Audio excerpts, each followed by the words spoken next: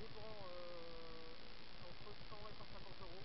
Mais au moins, euh, l'hiver, on a l'abri et puis on a, on a le vélo qui est tout contrôlé. Il n'y a plus de problème de. Même s'il y a de l'eau, la chaîne ne se pas, etc.